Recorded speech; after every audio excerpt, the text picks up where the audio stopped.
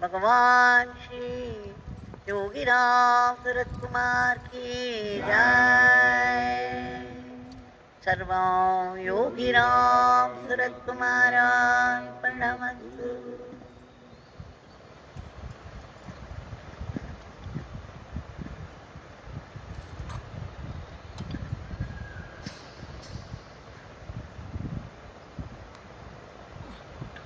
The Sandhya Kalatik பகவானுடைய திவ்ய நாமத்தை சொல்லும் பெரும் பேறு பெற்றோம். பகவானுக்கு நம்முடைய ஆழ்ந்த நன்றியை தெரிவித்துக் கொள்வோம். தூக்கத்தில் கழியாமல் விழிப்புணர்வோடு பகவானுடைய சன்னதியில் அவருடைய சக்தி வாய்ந்த மந்திரத்தை சொல்வது என்பது சாதாரண விஷயமே அல்ல. எத்துணை புண்ணியம் செய்திருக்க வேண்டும். பகவான் ஒரு முறை சொன்னார் இந்த பிச்சைக்காரனை எல்லோரும் தெய்வம் தெய்வம் என்று சொல்கிறார்கள். இந்த பிச்சைக்காரன் அவர்களுக்கு புரியும் பாஷையில் கடவுளின் குழந்தை காட் சைல்டு என்று சொல்கிறேன். உண்மையில் எல்லோருமே கடவுள்தான். ஒவ்வொருவரும் கடவுளின் அவதாரமே என்றார். இதுதான் உண்மை என்றார். அதனுடைய அர்த்தம் என்ன என்று ஆழ்ந்து சிந்தித்து பார்த்தால் நமக்குள்ளே இருக்கும் தெய்வீகம். அந்த தெய்வம் நம்முடைய உடல் இருக்கிறது அந்த உடலுக்கு ஒரு உயிர் இருக்கிறது. அந்த உயிரை அங்கு வைத்தது யார்? இந்த உடலை உருவாக்கி அதன் முள் உயிரை போட்ட ஒரு உயிர். இந்த உயிருக்கும் உயிர் ஒன்று நமக்குள்ளே இருக்கிறது. அந்த உயிருக்கும் உயிரான அந்த பொருளைத்தான் நாம் பரம்பொருள் என்று சொல்கிறோம் சுப்ரீம் காட் என்று சொல்கிறோம். அது நமக்குள்ளே இருக்கிறது. நம்முடைய இதயத்தின் உள்ளே இருக்கக்கூடிய இதய ஆகாசத்தில் சித்தாகாசத்தில் இருக்கிறது. அது இருப்பதனால்தான் அதுதான் நமக்குள்ளே சுவாசத்தை போட்டிருக்கிறது. அது இருப்பதால் தான் நமக்குள்ளே இந்த சுவாசம் ஓடிக்கொண்டிருக்கிறது. நாம் உயிருடன் இருப்பதாக எல்லோரும் நம்மை பார்க்கிறார்கள். அது இல்லை என்றால் நாம் பிணத்துக்கு சமானம். ஆக இந்த உள்ளே இருக்கும் அந்த பரம்பொருள்தான் இந்த உயிருக்கும் உயிராயிருக்கும். அதுதான் நம்முடைய உண்மையான ஐடென்டிட்டி அதைத்தான் பகவான் அப்படி குறிப்பிடுகிறார். ஒரு எறும்பினுடைய சுவாசம். இறைவனுடைய உயிருக்கு உயிர் அது உள்ளே இருக்கிறது. ஒவ்வொரு ஜந்துவுக்குள்ளும். அந்த பரம்பொருள் வீட்டிலிருந்து அதன் உள்ளே அந்த சுவாசத்தை வைத்து உயிரோட்டம் செய்து அதனுடைய அந்த ரோலை அது செய்து வருகிறது. அதுதான் நம்முடைய உண்மையான ஐடென்டிட்டி. அதை நாம் தொலைத்து விட்டோம். காணாமல் போய்விட்டது. ஏனெனில் இந்த உடலும் இந்த உடலுக்கு அடிப்படையாக இருக்கும் இந்த உயிருடன் மட்டுமே நாம் வாழ்ந்து கொண்டிருக்கிறோம். அந்த உயிருக்கு உயிர் உள்ளே உட்கார்ந்து கொண்டு இந்த உயிரையும் உடலையும் செலுத்தி கொண்டிருக்கிறது என்பதை நாம் மறந்துவிட்டோம். நம் பல பேருக்கு இது தெரிவதே இல்லை. தெரியாமலேயே வாழ்க்கை கழிந்து விடுகிறது. கண்டதே காட்சி கொண்டதே கோலம். இதற்கு ஒரு சிம்பாலிக்காக ஒன்றை படித்தேன். அதை பகிர்ந்து கொள்ளலாம் என்று நினைக்கிறேன். இது பகவானுடைய ஆனந்தமான லீலைதான். பகவானுடைய நாமத்தை சொன்ன காரணத்தினால் அவர்களுக்கு காணாமல் போன இந்த நகைகள் கிடைத்து விடுகின்றன. இதை பற்றிய கதை அது. அந்த கதை அந்த நகைகளும் வேறு எங்கும் செல்லவில்லை. அவர்களிடமே இருந்தது. ஆனால் அவர்கள் காணாமல் போய்விட்டதாக நினைத்து வருந்தி அவருடைய நாமத்தை சொல்லி சொல்லி தேடி கடைசியில் கண்டுபிடித்தார்கள். திரு விநாயகம் என்பவர் உத்தம்பாளையத்திலிருந்து எழுதுகிறார் திருநெல்வேலிதான் அவருடைய குடும்பம். அங்கிருந்து அவருக்கு உத்தம்பாளையத்திற்கு மாற்றலாகி விடுகிறது. அவர் அங்கே அலுவலகத்தில் தன்னுடைய பணியில் ஈடுபட்டிருக்கிறார். ஆனால் பகவானுடைய நாமம் அவருக்கு பரிச்சயம். பகவானிடம் பக்தி உள்ளது. அப்பொழுது இந்த சம்மர் ஏதோ ஒரு விடுமுறை அவருடைய மனைவியும் மகள்களும் அவர்களுடைய வீட்டிற்கு திருநெல்வேலி வீட்டை பூட்டிவிட்டு செல்கிறார்கள். கோடை விடுமுறைக்கு வேறு இடத்திற்கு செல்கிறார்கள். ஆனால் இவர் உத்தம்பாளையத்திலேயே இருக்கிறார். அலுவலக பணியின் காரணமாக அப்படி ஒரு நாள் அவர் தன்னுடைய மனைவியுடன் பேசிக் கொண்டிருக்கும் பொழுது ஃபோனில் திடும் என்று அவர்கள் வீட்டு நகைகளை பற்றிய பேச்சு வருகிறது. அந்த நகைகளை அவர்கள் ஒரு பணம் இல்லாத சமயத்தில் அடகு வைத்து கஷ்டப்பட்டு அதை மீட்டார்கள். மீட்ட பிறகு அதிலிருந்து இரண்டு நகைகளை ஒரு நண்பருக்கு மறுபடியும் பணம் தேவைப்பட்டது. அதனால் அதிலிருந்த இரண்டு நகைகளை மட்டும் எடுத்து ஒரு நண்பருக்கு கொடுத்து வட்டிக்கு அவர்கள் பணம் வாங்கி கொண்டார்கள். அதன் பிறகு அவர்கள் அந்த நகைகளை பார்க்கும் பொழுது அதில் கிட்டத்தட்ட பன்னெண்டு பவுன் குறைந்தது. பன்னெண்டு பவுன் என்பது சாதாரண விஷயம் அல்லவே. இரு கணவன் மனைவி இருவருக்கும் பெரிய துக்கமாயிற்று. உடனே மனைவி சொன்னார் நாம் காணாமல் போன அந்த பகுதி நகைகள் நாம் உங்கள் நண்பரிடம்தான் கொடுத்திருப்போம். அவரிடம்தான் இருக்கிறது என்று கூறிவிட்டார். அதை பற்றி அந்த நண்பரிடம் கேட்டபொழுது அவர் மிகுந்த வேதனைக்கு ஆளானார் அவர் சொன்னார் அந்த நகைகள் என்னிடம் இல்லையே. நீங்கள் கொடுக்கவில்லை. இவைகளை தான் இந்த ரெண்டு நகைகள் தான் கொடுத்தீர்கள் என்று அவர் சொன்னார். இப்போ இந்த காணாமல் போன நகை எங்கே போயிற்று? எப்படி காணாமல் போயிற்று? அது குடைய ஆரம்பித்தது உள்ளே. அவருடைய மனைவி சொன்னார் நீங்கள் போய் பூட்டியிருக்கும் திருநெல்வேலி வீட்டில் தேடுங்கள் என்று. அவரும் ஒரு நாள் இது மிகுந்த ஒரு துக்கத்தை அளிக்கவே பன்னெண்டு பவன் என்பது சாதாரண விஷயம் அல்லவே. அதனால் அவர் சென்று அன்றே அவர் சென்று தேட வேண்டும் என்று நினைத்தாராம். அவர்கள் இருவருக்கும் அந்த சந்தேகம் வந்த உடனேயே வீட்டை போய் நன்றாக தேடி போவோம் நண்பரிடமும் கேட்டாயிற்று அவரும் இல்லை என்று கைவிரித்து விட்டார். ஆனாலும் இந்த சந்தேகம் இவர்களுக்கு இருந்து கொண்டுதான் இருந்தது. ஆனால் அந்த நண்பருக்கு மிகுந்த வேதனை. அவர் உதவி செய்வதற்கு தயாராக இருந்தார். இவர்கள் தேடுவதற்கு உதவி செய்யவும் தயாராக இருந்தார் அந்த நண்பர். இவர் செல்ல வேண்டும் உடனடியாக சென்று தேட வேண்டும் என்ற துடிப்பு இருந்தாலும் அன்றைக்கு பார்த்து அவருடைய உயரதிகாரிக்கு ஏதோ ஒரு விசேஷம். அவர் வேலையை விட்டு செல்வதனால் ரிட்டையர் ஆகி செல்வதனால் அவருக்கு ஏதோ ஒரு ஃபேர்வெல் பார்ட்டி கொடுப்பதாக இருந்தார்கள்.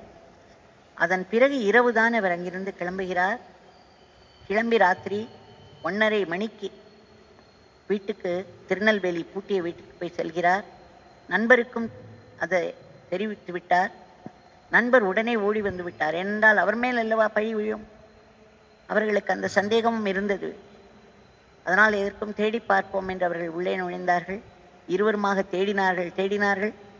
ஆனால் இந்த நகை காணாமல் போய்விட்டது என்ற ஒரு கலக்கம் ஏற்பட்ட உடனேயே அவர் நாமும் சொல்ல ஆரம்பித்து விட்டார். விநாயகம் பகவான் தவிர்த்து வேறு யாரும் துணை கிடையாது என்ற அந்த நிலை வந்தவுடன் அவருடைய நாமத்தை விடாமல் சொல்லிக் கொண்டிருந்தார். நாமத்தை சொல்லிக்கொண்டே தான் அந்த பயணத்தை மேற்கொண்டார். நாமத்தை சொல்லிக்கொண்டே வீட்டு வந்த பிறகு அதை திறந்து தேடினார் தேடினார். அந்த ஒரு மணி நேரம் பகவானுடைய நாமத்தை சொல்லி கெஞ்சிக் கொண்டே இருந்தார். சுவாமி காணாமல் போன நகைகள் கிடைத்து விட வேண்டும். எங்களுக்கு அது பெரிய விஷயம் பெரிய எமௌண்ட் என்றெல்லாம் கெஞ்சி கெஞ்சி கெஞ்சி கேட்டுக்கொண்டே நாமத்தை சொன்னார். பீரோவை எல்லாம் பார்த்தாகிவிட்டது அவர்கள் வைத்திருக்கும் எல்லா இடங்களிலும் கப் வேறு வேறு இடங்களிலெல்லாம் தேடிவிட்டார். ஒங்குமே கிடைக்கவில்லை. அவர் நண்பரும் சேர்ந்து தேடுகிறார். ஒரு மணி நேரம் இப்படி கழிந்த பிறகும் ஆனால் அவர் நாமத்தை சொல்வதை விடவில்லை. அந்த நாமம் அவரை பற்றி கொண்டு விட்டது. அந்த நாமம் அவர் தொடர்ந்து கொண்டே இருந்தது. அப்பொழுது திடும் என்று அவருக்கு ஒரு ஒரு ஞாபகம் வந்தது. அந்த நகையை அடகு வைத்த ரசீதுகளை எல்லாம் ஒரு சிறிய பெட்டியில் அவர்கள் வைத்திருந்தார்கள். அந்த பெட்டியில் ரசீதுகள் மட்டும்தான் இருக்கின்றன என்றே நினைத்துக் கொண்டிருந்தார்கள். உடனே அது வைத்திருக்கும் இடத்திற்கு போய் அதை எடுத்தால் அந்த பெட்டி அங்கேயே இருந்தது. அதை திறந்து பார்த்தால் அந்த ரசீதுகளுக்கு அடியில் அந்த காணாமல் போன நகைகள் இருந்தன. அவருக்கு எப்படி இருந்திருக்கும்? எவ்வளவு மன உளைச்சல் எவ்வளவு கஷ்டம் எத்தனை உழைத்து எத்தனை கஷ்டப்பட்டு அந்த நகைகளை மீட்டு எடுத்திருக்கிறார்கள்? இப்பொழுது அந்த நண்பருக்கு எப்படி இருந்திருக்கும்? தன்மேல் ஒரு பழி பாவம் வருவது போல் அல்லவா இருந்தது? தான் செய்யாத ஒரு குற்றத்திற்கு ஒரு சந்தேகம் வந்துவிட்டதல்லவா? அவருக்கு அவ்வளவு ஒரு சந்தோஷம் இவருக்கு அவ்வளவு ஒரு சந்தோஷம். பகவானுடைய நாமத்தின் லீலை என்று சொல்வதா அந்த ஆபரணங்கள் தொலைந்த ஆபரணங்கள் அவருக்கு கிடைத்து விட்டது அவர் சந்தோஷத்தில் பகவானை கொண்டாடினார் பகவான் நாமத்தை கொண்டாடினார் அதை பற்றி அவர் எழுதியிருக்கிறார். எப்படி நாமம் எல்லா விஷயங்களிலும் துணை செய்கிறது என்று. ஒருமுறை ஒரு பெண்மணி இது முன்னாடியே சொல்லி இருக்கிறேன் அந்த ஒரு பெண்மணி வந்து பகவானின் எழுத்தாற்போல் உட்கார்ந்து அழுது கொண்டே இருந்தார்கள். பகவான் திரும்ப திரும்ப சொல்கிறார் அம்மா இந்த பிச்சைக்காரனின் பெயரை சொல்லுங்கள் இவர்களெல்லாம் சொல்லிக் கொண்டிருக்கிறார்களே இவர்களோடு நீங்களும் ஜாயின் பண்ணி கொள்ளுங்கள் சன்னதி தெரு வீட்டு வராண்டா அவர் முயற்சிக்கிறார் அவரால் முடியவில்லை அழுகை பொங்கி வருகிறது. திரும்ப திரும்ப திரும்ப பகவான் சொல்லவும் திரும்ப திரும்ப அவர் பாட முயற்சிப்பதும் கடைசியில் அழுகையில் முடிவதுமாகவே இருந்தது. அதன் பிறகு அவரை பகவான் பிளஸ் பண்ணினார். அவருக்கு பின்னால் அந்த காணாமல் போன நகை அவர் வீட்டிலேயே கிடைத்து விட்டது ஆனால் பகவான் அவர் அழுது கொண்டிருக்கும் பொழுது என்னை பார்த்து சொல்கிறார் இந்த பிச்சைக்காரன் அவர்களுக்கு ஒரு கிரவுன் ஜுவல் ஒரு மகுடம் ஒரு கிரீடம் ஒரு கிரவுன் ஜுவல் தலை தலை தலையில் அணியும் ஆபரணம். ஒரு மக்குடம் அதை எல்லா ஆபரணங்களுக்கும் மேலான ஆபரணம் அல்லவா அது? முடி சூடிக் கொள்வதற்கு சமானம் அல்லவா? அதை கொடுக்க இந்த பிச்சைக்காரன் விரும்புகிறான் கொடுக்க முயற்சி செய்து கொண்டே இருக்கிறான். ஆனால் அவர்கள் தொலைந்து போன ஆபரணங்களை நினைத்து கொண்டே அழுது கொண்டிருக்கிறார்கள். அவர்களால் அதை விட்டு வெளியே வர முடியவில்லை என்ற. இந்த க்ரௌன் ஜுவல் என்பதுதான் நம்முடைய உண்மையான ஐடென்டிட்டி நாம் தெய்வத்திடமிருந்து வந்தவர்கள்தான்.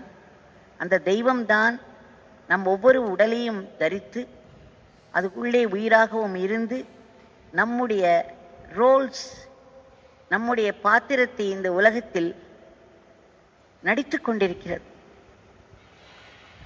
ஒரு ஸ்டேஜில் ஒரு ஹீரோ இருப்பார் ஒரு வில்லன் இருப்பார் பல சப் கேரக்டர்ஸ் எல்லாம் இருப்பார்கள். ஒரு ஸ்டேஜ் தேவையாக இருக்கிறது.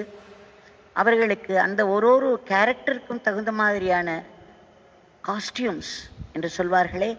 அந்த நகை உடை எல்லாம் தேவையாக இருக்கிறது எல்லோருக்கும் டயலாக்ஸ் வேறு தேவையாக இருக்கிறது அதற்கு ஒரு டைரக்டர் அதை பார்ப்பதற்கு ஒரு ஆடியன்ஸ்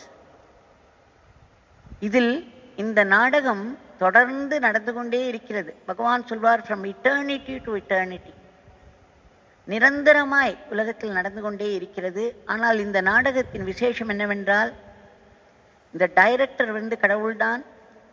இந்த நாடகத்தின் ஹீரோவும் கடவுள்தான். கடவுளே வில்லனுடைய பாத்திரத்தையும் ஏற்று நடிக்கிறார்.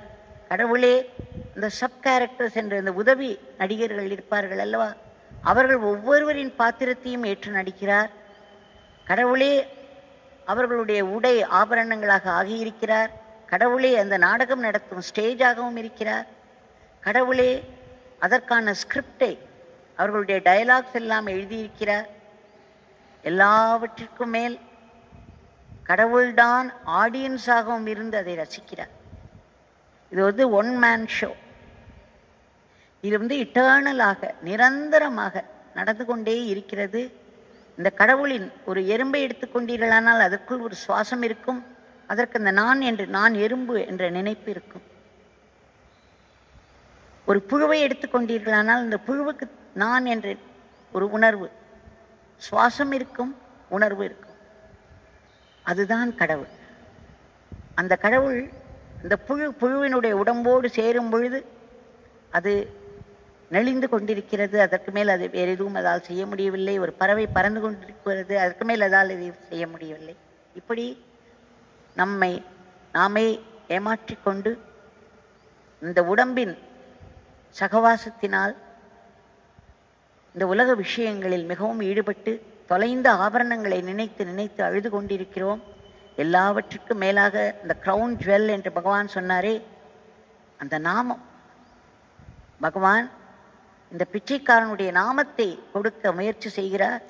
ஆனால் அவர் அதை ஏற்றுக்கொள்ளாமல் தொலைந்த ஆபரணத்தை நினைத்து நினைத்து அழுகிறார் என்று சொன்னார். ஏன்? அந்த நாமம் க்ரௌன் ஜுவல் அது நம்மை காணாமல் போன நம்முடைய உண்மையான ஸ்வரூபத்திற்கு அது எடுத்துச் செல்லக்கூடிய நாமத்தை நாம் சொல்ல சொல்ல சொல்ல நாம் இந்த உடம்பு என்ற உணர்வானது நம்மை விட்டு நீங்கும்.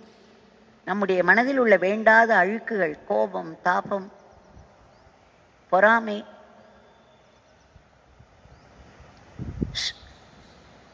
துக்கம் பயம் இவையெல்லாம் அழுக்குகள் மனதின் அழுக்குகள்.